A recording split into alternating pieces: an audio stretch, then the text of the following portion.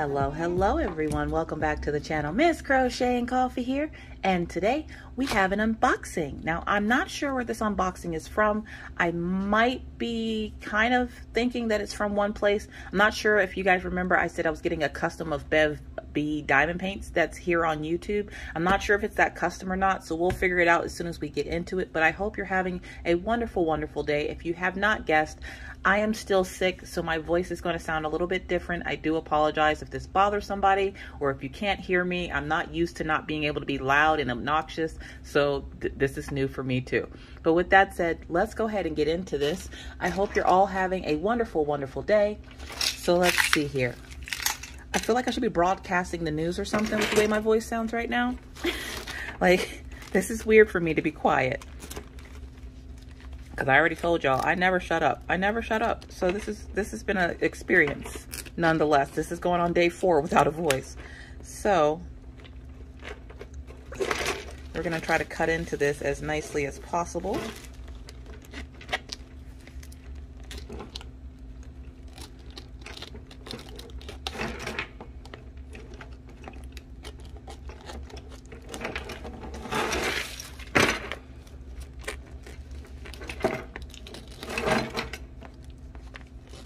we're gonna try to get into this. Now I did rip part of this off because I didn't know why that, oops, sorry, that part was on there.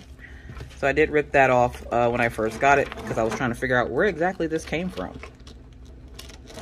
There was a company that I was asked to check out and I went over and bought one of their images, but it's been a while since I've heard anything about the image, so I'm not sure if this is it or not, and the tracking that I have has a different tracking number, so I don't know where this is from.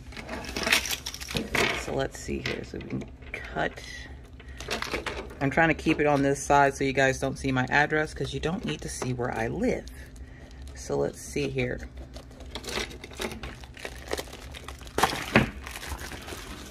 All right, so just a plain white box, of course. No branding. I don't like that. doesn't tell me anything. Doesn't tell me where I got it from. Branding is very important, you guys. If you ever think about starting a diamond painting business, please know branding is very important. It's how you get your name out there and get people to know who you are, okay? So, oh no. Oh God, no. Okay, box is empty. Oh no. Okay, so if you don't know why I'm saying oh no, one, that hurt. Two, this is double-sided adhesive. If you don't know what that is, it's like double-sided tape. Miss Coffee don't do double-sided adhesive. I'm, I'm a diamond painting snob. These are things we know. I don't work with double-sided adhesive, so they already lose cool points. One, because there's no branding on the box to tell me what it is, which means it's not my custom because my custom would not have come in port or uh, double-sided adhesive. And you can also tell because it says twin adhesive. Like, I don't care how you say it it's double-sided tape. I don't like working with double-sided tape. There's too many errors that can happen with it, but I'm still going to give it a try and show you guys. Maybe I'll give it away at a later date. Um, so let's go ahead and take a look to see what it is, if it's what I think it is. Yes, it is. All right, so we're going to slowly unroll this. I have not unboxed a double-sided adhesive kit in many years. Now, I've only been on YouTube for four years, but it's been a long time since I've done a double-sided adhesive kit, and I'm sorry.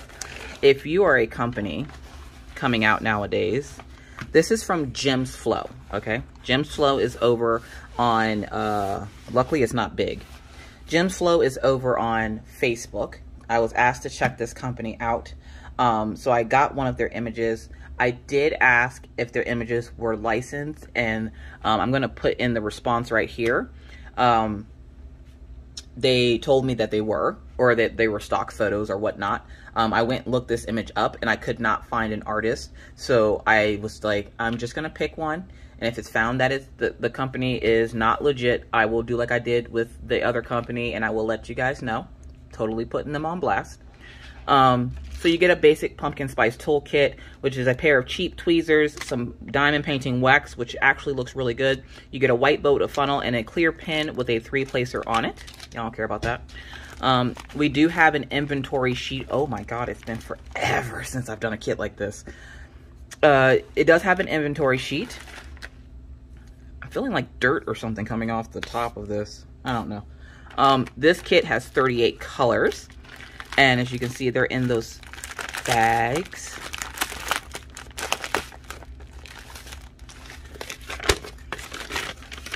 So our inventory sheet is checked off. But as you guys know, we don't trust nobody here on the Coffee House channel. So uh, we will be checking to make sure we have all of our drills. So let me pause you real quick so I can go grab a pen. All right, so I got my pen. I'm gonna take a seat here. So we are going to check to make sure that we have all the drills because one of the big key components of a diamond painting is making sure you have all your drills because if you're missing drills, obviously you're not going to have a good time waiting for them to get to you. Now this didn't take horribly long to get to me and I will put up the time frame that I ordered it and when I got it because I just got it on Saturday I want to say. So So I'll put Saturday down there to remind myself to put the timestamps and stuff in here. But I'm going to go ahead and check this and see what all came with it and if everything is there. And I'll be right back. You guys are probably going to listen to some relaxing music and a time lapse. So let's get started.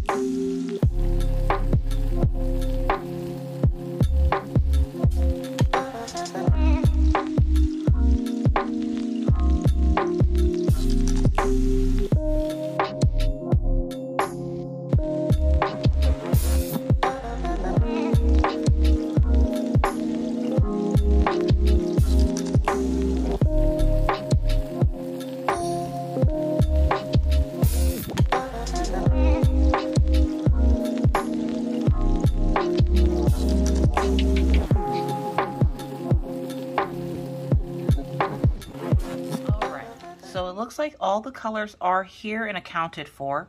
Um, I'm not seeing any massive like dirt or anything on the drills, but they are round, as you can see.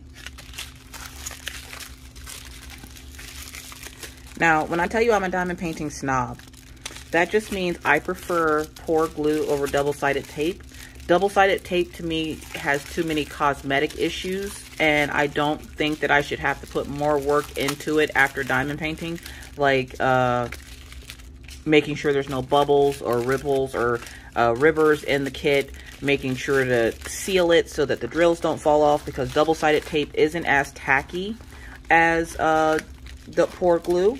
So I'm I'm just not the biggest fan of double-sided adhesive. This is no offense to anyone that does like double-sided adhesive, but the way my life is set up, no thank you.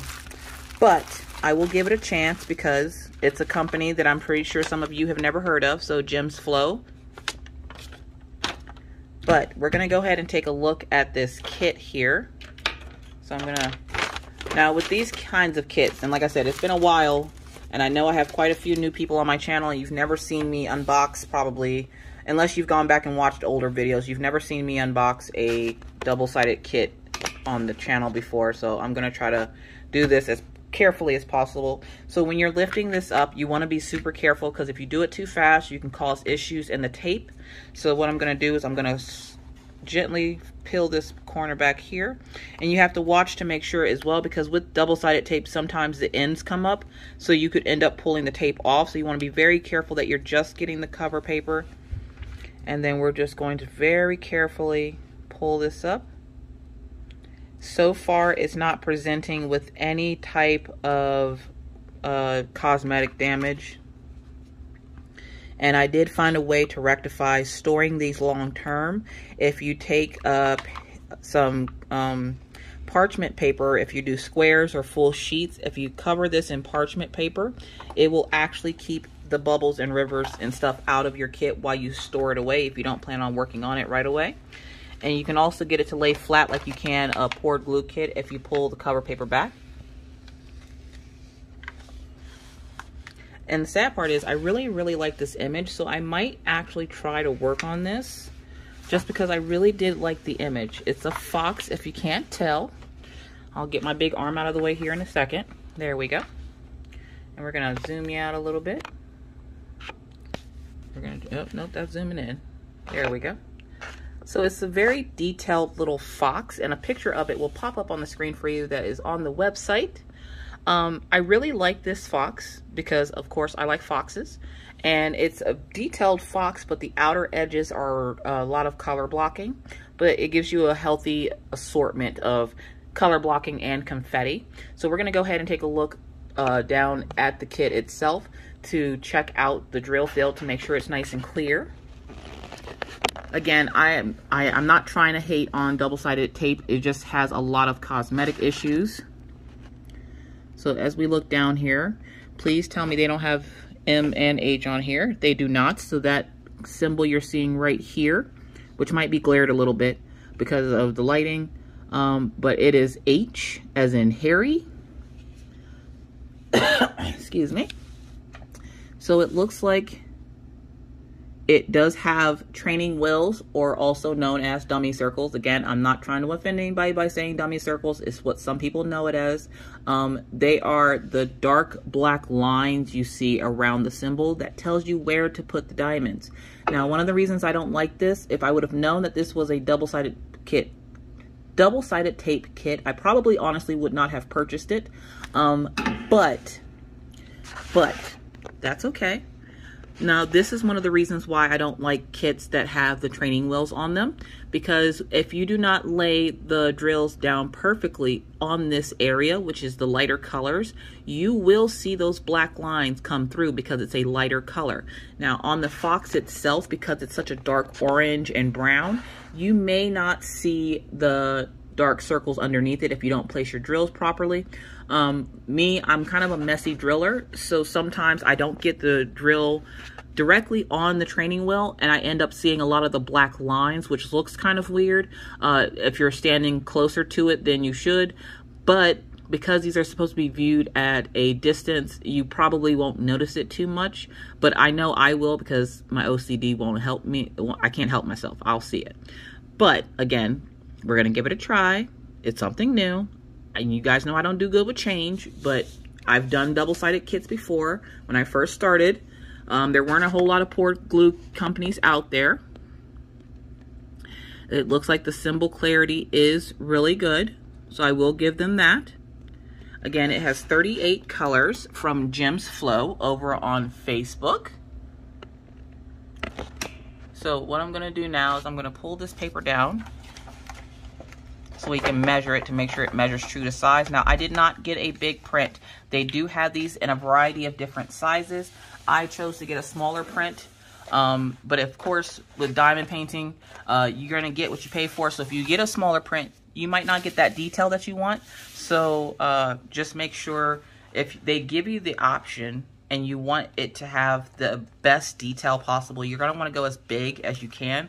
Um, Usually, I would say no bigger than like an 80 by 80 is necessary. Sometimes it is, depending on the image.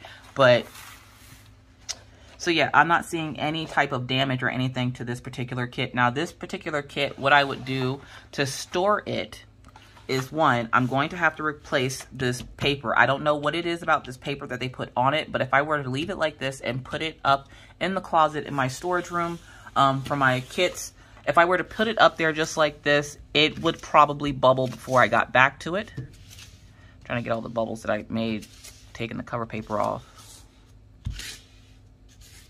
So what you're hearing is all the bubbles that developed in between the between the cover paper and the kit itself. I want to get this as flat as possible because then what I'm going to do is, sounds like paper tearing, doesn't it? A little ASMR for you. All right. I know, I know, I'm not as good as Rachel Ray with the ASMR. Anyways, um, so how I would store this is I would take a trouser hanger or a pant hanger, say from like Walmart or a clothing store that has the two clamps on it you would put the two clamps on the top or the side of the diamond painting. I prefer doing it on the top. And then I would just hang it in the closet like a pair of pants. Usually you can do this with like three or four different kits, uh, depending on the weight of the kit. This isn't a big kit, so I should be able to do this with this kit uh, just fine. If you have a heavier kit, you're going to probably want to use two pant hangers. Um, so we're going to measure this to see if it measures true to size. So this is supposed to be a 35 by 55 and we're measuring glue to glue because we're only we're, we're drilling the drill area, not the entire canvas. So I want to make sure that, you know, my canvas is going to give me what it's supposed to give me. So I got 35 that way, which means more than likely this way will give me 55. So we're going to put it right on where the glue starts. Yes, it's actually a little bit over on both sides. So it does definitely give you uh, the true size. So let's let's go back and do a couple of pointers. One, I wish they put the branding on their boxes so you know what it is. Two, I do wish that they would transition to poured glue just because it's something that's going to last you a little bit longer and it doesn't have as many cosmetic issues longer down the road. Three, I do wish that they would uh, get rid of the training wheels on the canvas because again on those lighter colors if you do not place them perfectly if you multi-place you're going to have to go back and fix each drill. And uh, unless you do one by one or use a like a diamond painting ruler it's it's going to cause like a little bit of issue when working on them it's one of the reasons why I stopped working on double-sided tape kits because they do it takes a little longer to work on them and they do end up getting cosmetic issues over time. Um, not always, but most in, in my experience, I've I've had issues with some of my double-sided tape after like a couple of months or so. Like you'll notice drills missing or something like that. So you're going to want to make sure you seal this because the glue on this isn't going to be as strong as poured glue. But as long as you seal it, it should be fine. Um, it, again, it has 38 colors. It measures true to size. The drill quality looks good. They're not super sparkly, but they don't look trashy and they don't look like they have a bunch of knobbly bits, which I won't know for sure until I actually break it open and start working on it. Um, I'm still unsure if I will work on it just because, again, I really don't like double-sided tape, but maybe this is a change that I need. Um, so I might work on it. We'll see later on down the road. If you don't see me work on it in the next couple of months, more than likely I'll just probably put it in a giveaway or something. But it is adorable. I really love the image and it's a 35 by 55 is the size that I got this in. And I'm glad I got it in this size because it looks like it still is going to give me a lot of good detail. Now, I don't need to hear the heart, the, I don't need to smell the, the fox's breath or anything. I don't need to hear his heartbeat, but I wanted enough detail where you could see that fox's face. And I did get that with this kit. The symbol clarity looks really good. So would Miss Coffee tell you guys to check them out? I would definitely tell you to check them out. I know I'm not a big stickler for double-sided tape. That doesn't mean that somebody else in the community isn't. And a lot of the stuff that I point out uh, could just be, you know, it's, it's my own personal opinion. If you feel that this is a kit or this is a company you would like to check out, please do so by checking the description box of this video where I will have this company linked. But until then, I hope you guys stay safe out here in these crafty streets. Thank you so much for watching. I really appreciate it. Any other comments, questions, or anything like that, please leave those down in the comment section below, and I'll get back to you as soon as I possibly can. But with that said, folks, I'm going to go rest my voice now because I, I'm starting to realize that this this is starting to hurt. So thank you guys again so much for watching. Stay crafty, stay caffeinated, and stay safe. Wear your mask, wash your hands. Don't touch your face in public. Keep your six feet, and always try to be kind, be courteous, be cool. Bye, guys.